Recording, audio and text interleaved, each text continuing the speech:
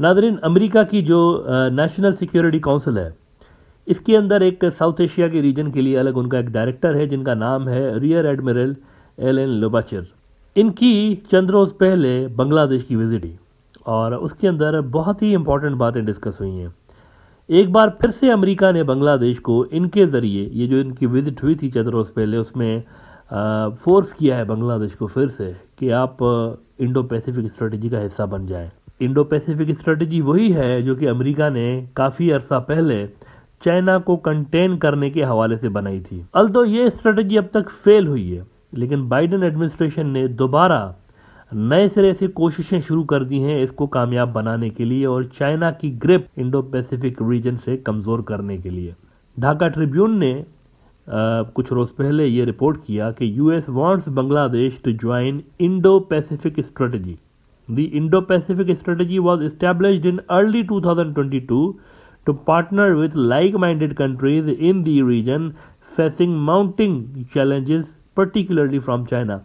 ये जो उन्होंने कहा ना कि 2022 में ये स्ट्रेटजी बनाई गई थी ये 2022 में नहीं बनी थी मतलब ऑफिशियली तो चले इनका अनाउंसमेंट हो गया होगा या कुछ लेकिन ये पहले से ही मौजूद है किसी न किसी शक्ल में इसको ज़रा फॉर्मल करके इन्होंने 2022 में नई पैकेजिंग में इंट्रोड्यूस किया था, लेकिन ये पहले से ही मौजूद है। जब से बी इनका लॉन्च हुआ है ना चाइना का, यूँ समझे कि तभी से इंडो पैसिफिक स्ट्रेटजी भी अमेरिका ने बना के रखी हुई है, लेकिन काम नहीं कर रही।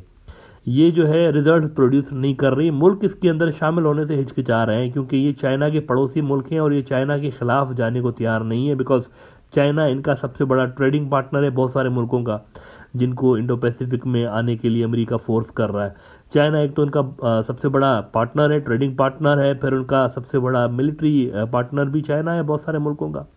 तो ये मुल्क रिस्क लेने के लिए तैयार नहीं है। लेकिन अमेरिकन जो है वो फोर्स कर रहे हैं मुसलसल इन मुल्कों को कि आप हमारी साइड पे हो जाएँ, ब्लॉक पॉलिटिक्स के अंदर उनको शामिल करने के लिए अमेरिकन जो है वो प्रेशराइज कर रहे हैं। ये भी बात इंपॉर्टेंट है नोट करना।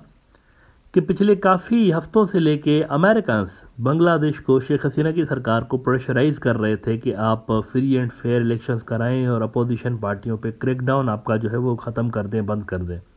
काफ़ी प्रेशराइज उनको किया गया। वेस्टर्न जो दीगर ममालिक हैं वो भी इस पर बयान दे रहे थे। अब उसके दरमियान असल में ये जो इनके टॉप ऑफिशियल थे, उनकी विज़िट हुई थी, लेकिन एक और बड़ी विज़िट हुई है। एक दो रोज़ पहले अमेरिका की ही तरफ़ से एक बड़ा, उनका एक ऑफिशियल आया बांग्लादेश। और ये तो काफ़ी नामी गरामी इनकी ऑफिशियल है, इनका नाम है डोनाल्ड लू। डोनाल्ड लू साहब जो हैं, ये अमेरिका के असिस्टेंट सेक्रेटरी ऑफ़ स्टेट हैं for the bureau of South and Central Asia affairs. Donald Lu वही हैं जिनके ऊपर इमरान खान ने इल्ज़ाम लगाया था कि हमारी हुकूमत को गिराने के लिए डोनाल्ड लू ने मरासला भेजा था पाकिस्तान के अंदर किसी पावरफुल शख्सियत को।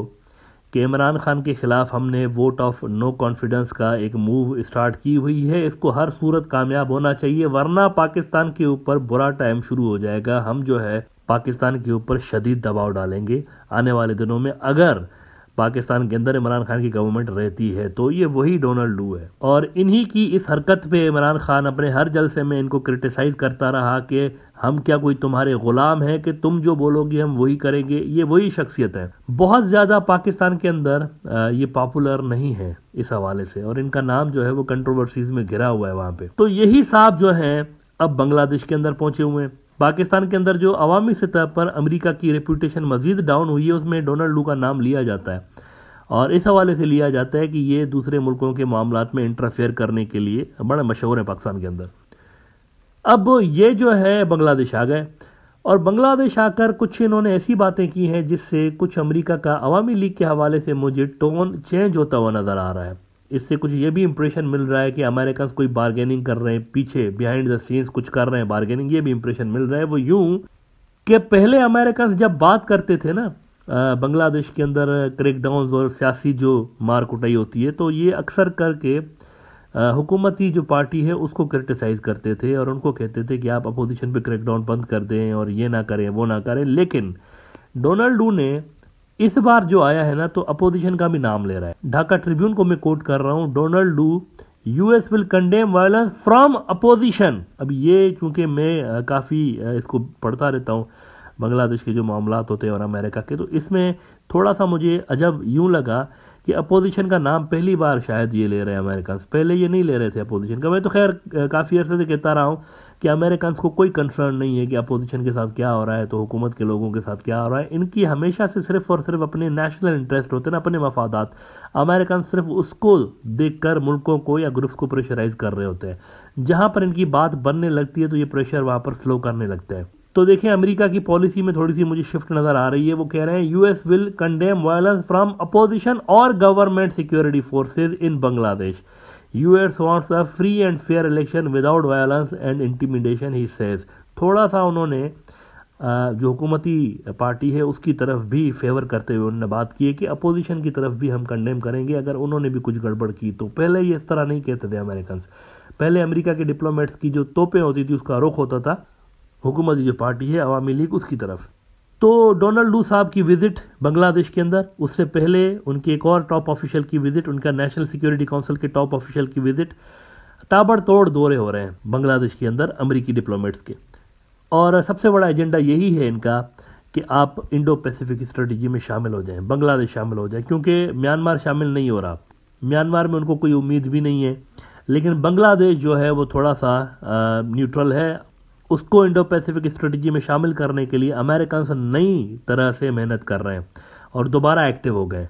लास्ट टाइम जब अमेरिकन से एक्टिव हो गए थे तो बांग्लादेश के अंदर बड़े टॉप के लेवल पर लॉबिंग शुरू हो गई थी। और बांग्लादेश के अंदर जो अवामी लीग के अंदर से ही उनके जो टॉप सीनियर जो लीडर्स हैं, वो भी इंडो पैसिफिक स्ट्रेटजी के हक में बयान देना शुरू हो गए थे और बांग्लादेश का मीडिया का एक ख़ास हिस्सा, जो कि अमेरिका के हमेशा करीब रहा है और इंडिया के, वो इंडो पैसिफिक स्ट्रेटजी की तारीफ़ों में उन्होंने बड़े बड़े लंबे लंबे कॉलम्स छापे थे और स्पेशल शोज़ भी हो रहे थे और फ़ायदे बताए जा रहे थे बांग्लादेश के अवाम को कि अगर हम वहाँ जाएँगे तो बड़ा अच्छा होगा हमारे लिए।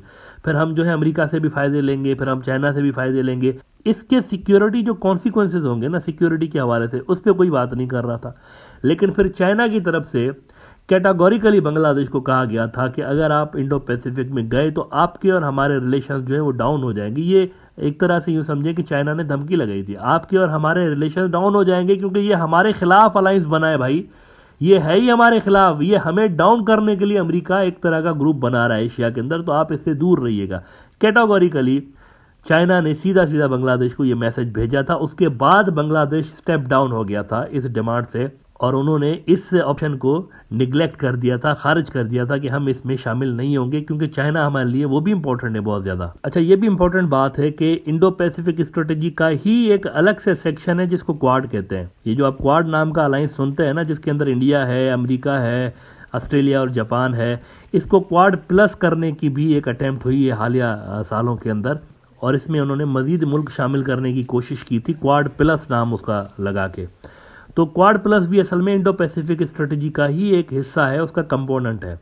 तो बांग्लादेश को इंडो पैसिफिक में अमेरिका किस हवाले से इंक्लूड करना चाहता है, ये थोड़ा सा देखना इंटरेस्टिंग होगा। अगर वो तो इकोनॉमी और इसकी तरफ़ आना चाहते हैं तो दैट्स फाइन लेकिन अगर उसमें कोई सिक्योरिटी का रोल देने के लिए या कोई डिफेंस के हवाले से वो कोई कोऑपरेशन और इस तरह करना चाहते हैं तो वो फिर चाइना के लिए मेरे ख्याल से आ, कोई अच्छी बात नहीं होगी और चाइनीज़ रोकेंगे बांग्लादेश को डेफिनेटली कि आप इन अलाइंसेज में मत पड़िएगा जो कि हमारे खिलाफ बने हुए हैं। अब इसकी टाइमिंग बड़ी इंपॉर्टेंट है। ये जो बांग्लादेश को दोबारा अमेरिकन ने अप्रोच किया है ना इस हवाले से ये टाइमिंग इसकी बड़ी इंपॉर्टेंट है कि कुछ महीने के बाद आठ दस महीने के बाद वहाँ पर इलेक्शन होने वाले हैं।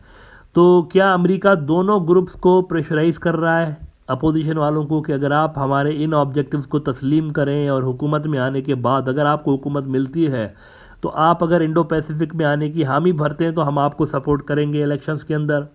या वो शेख हसीना को प्रेशराइज कर रहे हैं कि अगर आप इंडो पैसिफिक स्ट्रेटजी के अंदर शामिल नहीं होंगे तो हम अपोजिशन वालों को करेंगे सपोर्ट क्या ये तो गेम नहीं चल रहा बिहाइंड द सीन्स क्योंकि दोनों के नाम ले रहे हैं ना। डोनाल्ड लू देखें क्या, डोनाल्ड लू कमाल की बातें कर रहा है। देखें जाते जाते भी वो बीच की बात करके गया है। ढाका ट्रिब्यून ने इनको कोट किया कि we as American we will condemn violence when we see it If it is on the part of the opposition यानी बीएनपी और जमात इस्लामी वालों की खिलाफ बात कर रहा है if it is on the part of the opposition और it is on the part of government security forces At the same time, we are going to focus on whether there is any intimidation during the election. We will say this publicly. अब देखें, दोनों की बात कर रहा है। उधर भी कर रहा है, अपोजिशन को भी थोड़ा सा खुश कर रहा है, इनको भी खुश कर रहा है हुकूमत वालों को, और बीच में इलेक्शन का भी मुद्दा डाल रहा है। तो क्या अमेरिकन इस मुद्दे को लेकर, इलेक्शंस को लेकर अपनी इंडो पैसिफिक स्ट्रेटेजी बेचना चाह रहे हैं? इसको देखना बड़ा दिलचस्प होगा। और बांग्लादेश के अंदर जो अवामी लीग या बीएनपी वालों के जो एक्शंस होंगे, वो खुद ही बताएँगे कि वो इंडो पैसिफिक की स्ट्रेटजी के करीब हो रहे हैं या नहीं हो रहे हैं। वो इनके एक्शंस से खुद ही आवाम को जो है, वो समझ में आ जाएगा।